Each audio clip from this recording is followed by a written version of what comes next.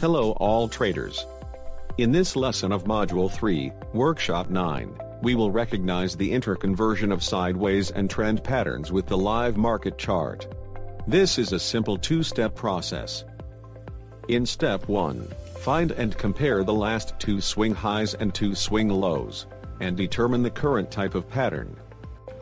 In step 2, look for a new turning point, and update the new dynamic channel. Then repeat step 1, and compare the last two swing highs and two swing lows, and determine the type of pattern. And again follow step 2, look for a new turning point, and update the new dynamic channel. Again repeat step 1, and compare the last two swing highs and two swing lows, and determine the type of pattern. And follow step 2 to look for a new turning point, and update the new dynamic channel. So, determine the type of pattern. And look for a new turning point, and update the new dynamic channel. You keep determining the type of pattern.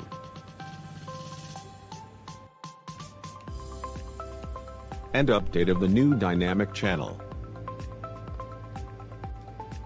You will see how uptrend patterns are converted to sideways pattern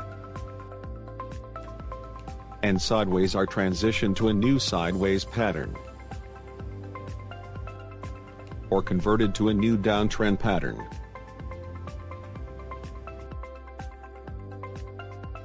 So, let's practice how to follow these two steps and recognize the interconversion of patterns in real market charts.